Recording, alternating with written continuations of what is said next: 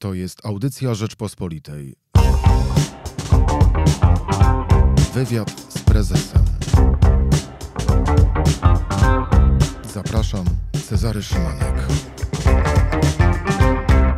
Wywiad z prezesem Cezary Szymanek. Dzień dobry. Dziś gościem e, były prezes Brebanku, były prezes ITI, a obecny prezes Bilon Group i prezes e, Polskiej Rady Biznesu. Dzień dobry, panie prezesie. E, dzień dobry, panie redaktorze, dzień dobry państwu.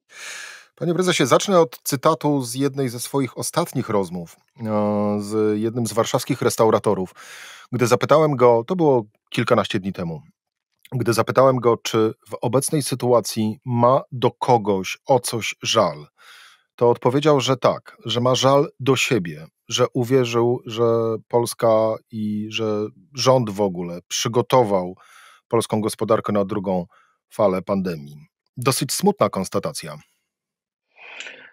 No smutna, ale chyba prawdziwa, przy czym ja bym chciał rozszerzyć e, taki żal, bo myślę, że możemy mieć żal do siebie jako społeczeństwa, do tego, że uwierzyliśmy, e, mówię o Polsce, o Polakach, że e, jesteśmy nietykalni i patrzyliśmy nawet momentami z góry na te kraje, szczególnie na południe Europy, które z pierwszą falą zmagały się, ale które trochę się jednak e, nauczyły i wyciągnęły wnioski, i dzisiaj wygląda na to, że są nieco lepiej przygotowane. Ale oczywiście, że przed tak, w takich warunkach, no, można powiedzieć, katastrofy naturalnej niemalże, e, nie ma chyba żadnego kraju, który idealnie by się przygotował.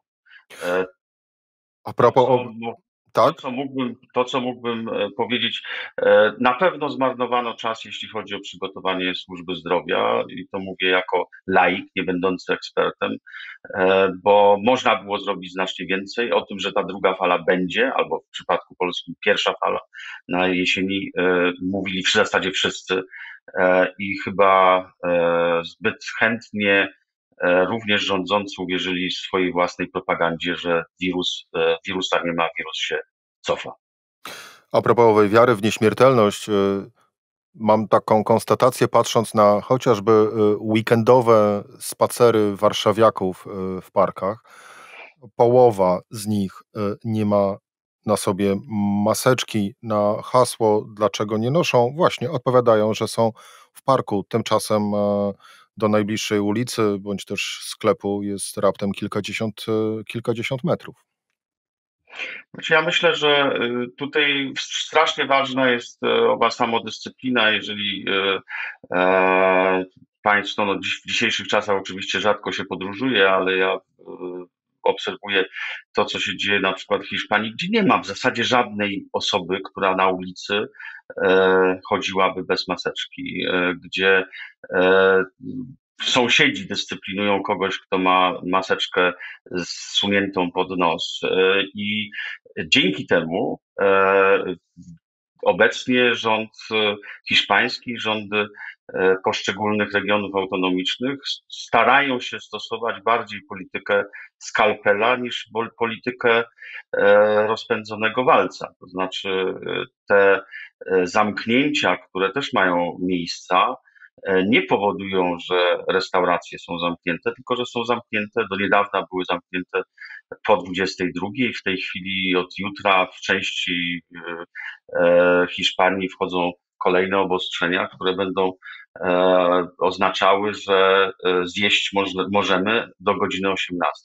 Dlaczego o tym wspominam? Bo to oznacza, że e, starają się hiszpańskie władze utrzymać jakąś równowagę między gospodarką i potrzebami gospodarki, a potrzebami sanitarnymi i działaniem E, związanym z powstrzymywaniem się rozszerzania pandemii, czyli e, chyba wybierają takie mniejsze zło. E, nie zamykana jest gospodarka w całości, ale tylko ograniczania i jest to ograniczenie mobilności od jutra w dużej części Hiszpanii nie będzie można się przemieszczać bez istotnego powodu poza granicę gminy, w której w której mieszkamy, ale to też jest, nie jest w ogóle porównywalne do tego, co we Francji, w Hiszpanii czy we Włoszech miało miejsce na wiosnę tego roku, kiedy była totalna blokada.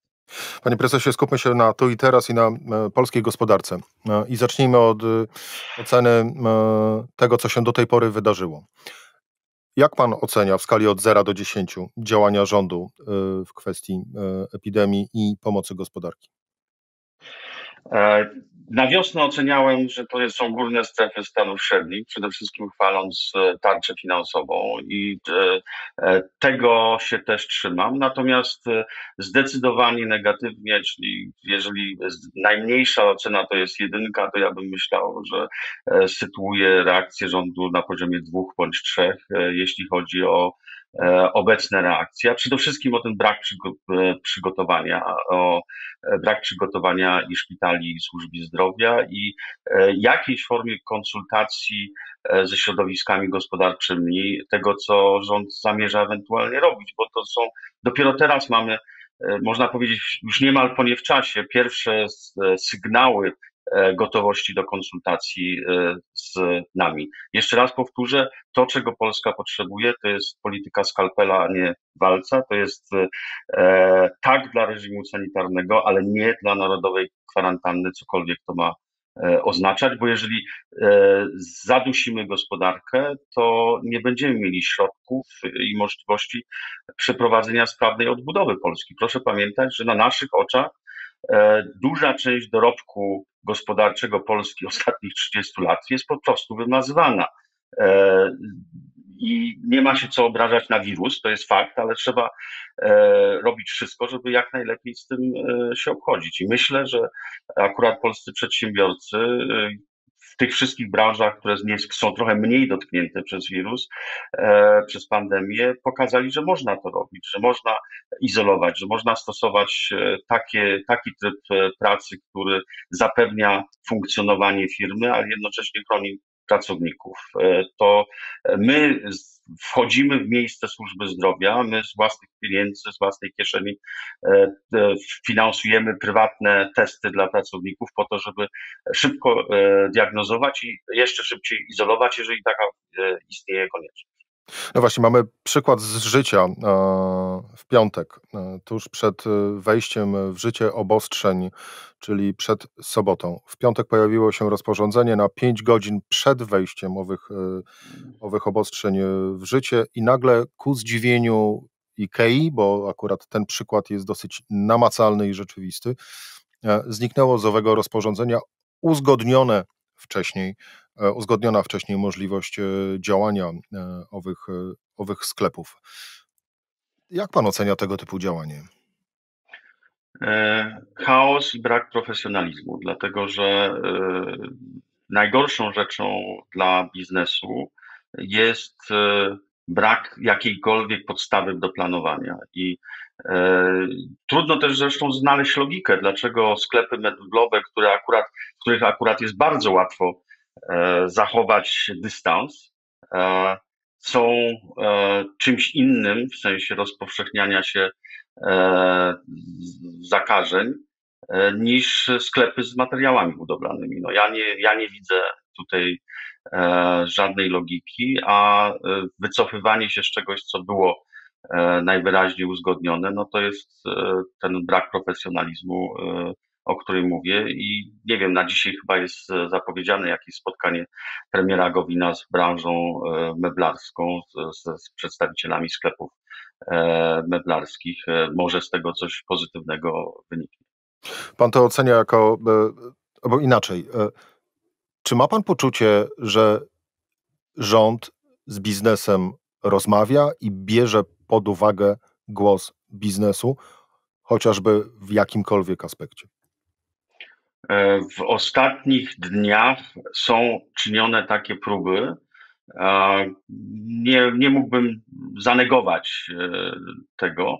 Natomiast e, właśnie sprawa na przykład sklepów weblarskich jest przykładem, że jest to robione nieprofesjonalnie albo też panuje totalny komunikacyjny chaos po stronie tych, którzy w rządzie czy w imieniu rządu decydują o zakresie wydawanych rozporządzeń i o zakresie również wprowadzanych ograniczeń. Polska Rada Biznesu postuluje nie ogólnonarodowej kwarantannie, zresztą jak i właściwie chyba wszystkie organizacje y, biznesowe. Ale spróbujmy odwrócić apel, panie prezesie. Jeżeli okazałoby się, że będziemy mieć do czynienia z lockdownem, to co to oznacza w takim prostym rozumowaniu dla polskiej gospodarki? E, to oznacza e, kolejny cios. Znaczy, gdybyśmy ja mam nadzieję cały czas, że do tego nie dojdzie, żeby było jasne, ale gdybyśmy mieli do czynienia z e, lockdownem po, podobnym e, do tego, co, przez co Polska przeszła na wiosnę tego roku, no to by oznaczało wejście Polski w drugą fazę recesji, czyli byśmy mieli ten, tą, tą literę W słynną, która którą nas straszono e, jeszcze na wiosnę, to by oznaczało, że wiele firm, które ledwo przeżyły e, falę wiosenną, e, już się nie podniesie. I to będzie również oznaczało dramatyczne zwiększenie się i bezrobocia, i ilości upadających firm, przede wszystkim w tych wrażliwych branżach. No tym bardziej, że wiemy, iż E, żaden rząd na świecie nie ma nieograniczonych zasobów finansowych i e, nie możemy się spodziewać teraz e, podobnej, podobnego, podobnej skali wsparcia, jaką żeśmy otrzymali na wiosnę tego roku. Także dlatego też wszystkie, tak jak pan redaktor powiedział, wszystkie organizacje pracodawców i przedsiębiorców, ja nie znam żadnej, która by miała inne zdanie, apelują E, nie róbmy lockdownu, działajmy precyzyjnie, rozumiemy, że są niezbędne e, działania, które powinny ograniczyć e, rozprzestrzenianie się pandemii, ale nie działajmy ślepo i nie zamykajmy całej gospodarki. Pociągnę jeszcze ten wątek, czyli wątek takiego tego czarnego scenariusza, że będzie wprowadzony lockdown. To by zaprzepaściło ostatnie 30 lat? Nie chcę mówić e, w e, takich kategoriach, bo oczywiście nie zaprzepaściłoby 30 lat, ale moglibyśmy wtedy e, spodziewać się, że stracimy w sumie z 10 punktów procentowych PKB. No to jest, to jest tyle, o ile, o ile rośnie polska gospodarka w ciągu 3 czy 4 lat. To jest jednocześnie bardzo duże e, obciążenie na przyszłość, tym bardziej, że przecież my nie wiemy, co wydarzy się zimą. Znaczy, przed nami jest jeszcze cały czas najtrudniejszy okres. E, I to dotyczy również gospodarki, ale dotyczy również służby zdrowia. I, ja nie, nie, chcę, nie chcę oczywiście, że muszę się liczyć z tym, że, że będzie wprowadzony drugi lockdown, e, ale y, i mamy takie plany, ale mam nadzieję, że do tego nie dojdzie. A y, panu redaktorowi dam taki prosty przykład. E, po pierwszym lockdownie zdecydowaliśmy się na e, zmniejszenie powierzchni biurowej, bo stwierdziliśmy, że dajemy sobie dosyć dobrze radę jako firma działająca w branży IT pracując zdalnie e, i damy sobie radę e, z powierzchnią o połowę mniejszą. E, w tej chwili, patrząc na to, co nas czeka, jeszcze raz zmniejszamy powierzchnię, oszczędzając oczywiście koszty, ale jednocześnie pokazując, że można się przystosować do pracy niemal całkowicie zdalnie. I to jest to, jest to co ta, ta lekcja, którą firmy, myślę, we wszystkich sektorach dosyć dobrze odrobiły. To znaczy, miały jakieś plany przygotowujące na tyle, na ile można, e, na gorszy scenariusz. A wydaje mi się, że rząd albo nie miał tych planów, albo o nich e, niedostatecznie komunikował, a patrząc na to, co się w tej chwili dzieje, to myślę, że raczej to pierwsze e, stwierdzenie jest prawdziwe.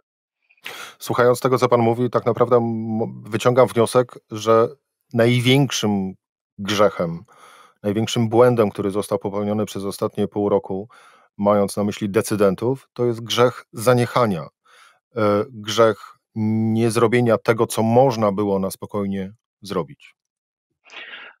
Grzech zaniechania, ale też olbrzymie błędy w komunikacji społecznej, dlatego że jeszcze w ramach prowadzonej kampanii wyborczej zostało stworzone wrażenie, stworzone przez decydentów, przez rząd, przez E, przywódców partii rządzącej, że tego wirusa naprawdę nie ma. I tak jak e, w wielu innych krajach europejskich dyskusja na temat e, wirusa i tego, że należy się przygotować na tą drugą falę, czy pierwszą falę w przypadku polskim, jednak trwała i kwestia przestrzegania obostrzeń e, sanitarnych e, była e, obecna również w takim, takiej dyskusji politycznej i medialnej, to w Polsce ona zniknęła. Tam jeden prosty przykład. Jeżeli bywał Pan w kawiarniach czy w restauracjach w Warszawie we wrześniu, to w ilu z nich spotkał Pan kelnerów w maseczkach? Ja w dwóch. E, nie będę wymieniał e, nazw tych dobrych restauracji, bo e, rozumiem, że nie mamy miejsca na kryptoreklamy, ale to były dwie na kilkanaście. Podczas gdy znowu wrócę do wielu krajów basenu Morza Śródziemnego, tam pod koniec sierpnia już było w zasadzie normą, że wszyscy noszą maseczki, bo ten wirus w którymś momencie powróci i było to przeświadczenie przekazywane też przez władze, że musimy uważać. Nie dajmy się złudzić i zwieść e, dobrej pogodzie i e, słońcu. No i teraz niestety w Polsce, e, w Polsce płacimy za takie zaniechanie i rządzących, i nas jako społeczeństwa wysoką cenę. Ja przypomnę, przypomnę, że my, jak Polska Rada Biznesu, pod koniec września apelowaliśmy o to, żeby przestrzegać reżim, reżim sanitarny, jeżeli nie chcemy mieć E, wielkich problemów związanych z jesienną falą pandemii i z przykrością stwierdzam, że niestety to nasze, e, to te nasze ostrzeżenia okazały się e, i prorocze i się w tej chwili spełniają. Gdyby do tego jeszcze dodać nieodpuszczenie masowego testowania Polaków, to kto wie, czy faktycznie nie bylibyśmy teraz w o wiele lepszej sytuacji. Panie prezesie, ale wybiegnijmy w takim razie w przyszłość tej, w tej, po tej pozytywnej e, stronie. Gdyby, gdyby to wy, jako pracodawcy, mielibyście układać plan e, działań na najbliższe 2-3 miesiące, wy, a nie rząd, to jakby pan ten plan widział?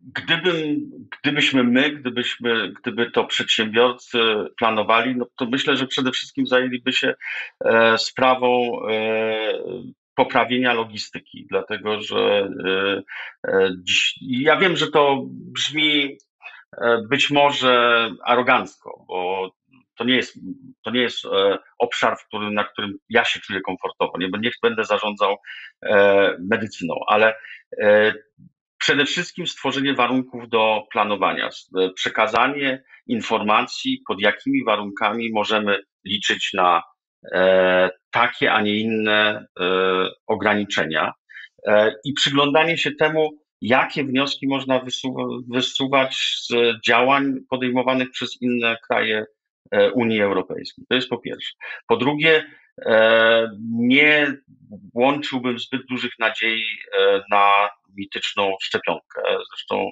proszę zauważyć, że w ostatnich tygodniach e, coraz rzadziej słyszymy o e, szczepionce i o terminie jej dostarczenia, bo chyba wszyscy już sobie zdają sprawę z tego, że jest to e, długi okres czasu, który, który nas dzieli od sprawdzonej szczepionki, którą można wprowadzić na rynek i zaszczepić rzeczywiście E, kilkadziesiąt milionów e, ludzi. E, I to oznacza bardzo rygorystyczne, powrócę do tego samego, bardzo rygorystyczne przestrzeganie tego podstawowego reżimu sanitarnego, dystans społeczny, dezynfekcja, noszenie maseczek i testowanie na jak największą skalę po to, żeby skutecznie izolować. Bez, te, bez tego działania E, nie opanujemy sytuacji. My to robimy jako firmy na co dzień I tego samego oczekiwalibyśmy od państwa i dobrze by było, gdyby telewizja publiczna zamiast marnować czas na taką toporną propagandę polityczną, zajęła się również tym, co chyba powinno być jej misją, czyli edukacją sanitarną Polaków i powtarzaniem tego do znudzenia, co należy robić, żeby naprawdę niewielkim e, wysiłkiem e, e, opanować sytuację. Ja nie, nie wiem, czy co powinno się zrobić ze szkołami. Tutaj jesteśmy bombardowani bardzo sprzecznymi informacjami dotyczącymi tego, co, co w, powinno nastąpić E, w szkołach, czy powinny być otwarte, czy nie. E, ale e, wiem jedno, nie możemy dopuścić do tego, żeby kraj, żeby gospodarka stanęła, bo wtedy naprawdę zaczniemy się, zaczniemy iść coraz bliżej w kierunku przepaści i zapaści gospodarczej. I pod tym apelem oczywiście podpisuję się obiema rękoma. Na koniec, panie prezesie, jeżeli e, uda nam się uniknąć e, lockdownu, nie zostanie on e, wprowadzony, będziemy funkcjonować tak, jak funkcjonujemy. I mając na uwadze, że no właśnie, przed nami jeszcze zima i prawdopodobnie koronawirus będzie z nami jeszcze przez kolejnych wiele, wiele miesięcy. Jakby pan odpowiedział na pytanie, kiedy wrócą czasy sprzed epidemii, mówiąc, mając na myśli kondycję gospodarki, kondycję firm, czasy Prosperity? Myślę, że nie przed 22, a może nawet 23 rokiem. E, patrząc na to, co e, nas czeka w 21, to będzie prawdopodobnie cały czas e, wyścig przemysłu farmaceutycznego szukającego właściwej szczepionki, właściwych lekarstw. Jednocześnie no, taki trudny kurs przystosowania się poszczególnych społeczeństw do życia z wirusem, bo to, że będziemy musieli żyć z wirusem, to jest e, więcej e, niż pewne. Także ja myślę, że 22 e, rok to jest najwcześniej, a nie wykluczam, że dopiero 23, także na pewno przyszły rok będzie bardzo trudny dla całej gospodarki i to niezależnie od tego, w jakiej części Europy się znajdujemy. Wojciech Kostrzewa, prezes Polskiej Rady Biznesu i prezes Bilon Group e, był moim gościem. Bardzo dziękuję panie prezesie. Dziękuję również, dziękuję państwu. A to był wywiad z prezesem Cezary Szymanek. Do usłyszenia. Słuchaj więcej na stronie podcasty.rp.pl. Szukaj Rzeczpospolita Audycje w serwisach streamingowych.